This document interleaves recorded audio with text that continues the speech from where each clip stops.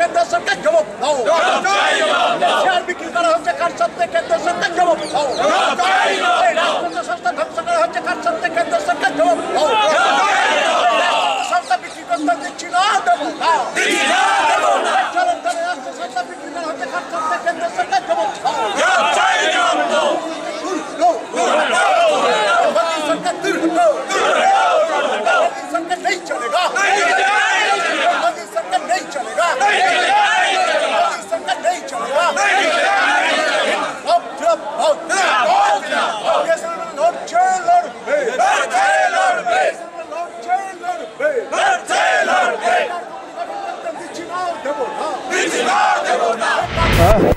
हम लोग बीएसएल से आए हैं।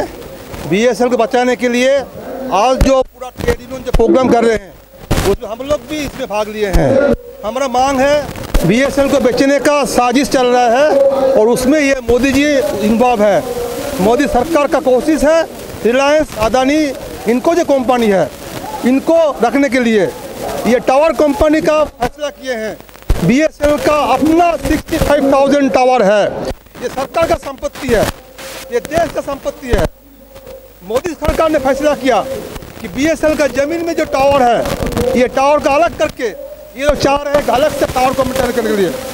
ये सोच रहे हैं एल को बेचेंगे बीएसएल को बेचेंगे ओ को बेचेंगे।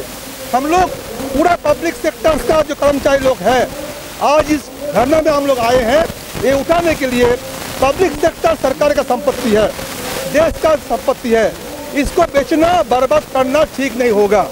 इसलिए तीन दिन से धरना जो हो रहे हैं उसमें ये भी एक मांग है minimum wage 18,000 for the all construction workers सरकार ने फैसला किया कि ये सुधार लाना चाहते हैं ये लेबर एक्ट बिल को। हम इसका विरोध कर रहे हैं। इसलिए पूरा देश आज इस जो धरना चल रहा है उसमें हम आवाज़ उठा रहे हैं।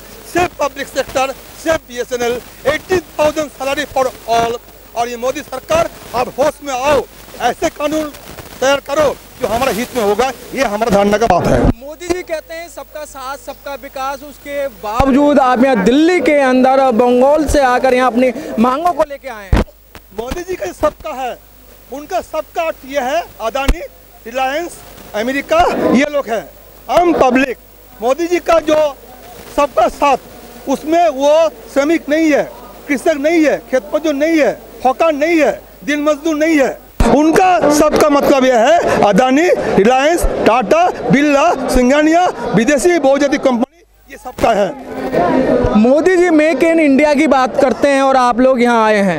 भारत के जो आम आदमी है उसको छोड़ के कैसे मेक इन इंडिया होगा?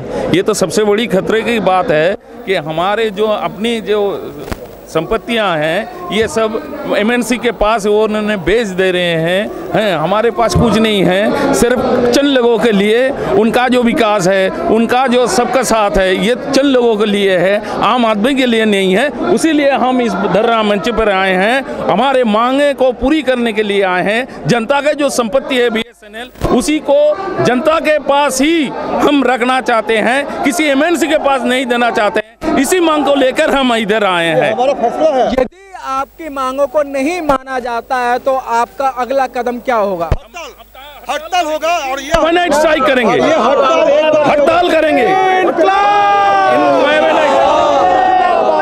ये हड़ताल एक दिन का लिए नहीं होगा। ये हड़ताल होगा कंटिन्यूस लगातार हड़ताल होगा पूरा। लगातार हड़ताल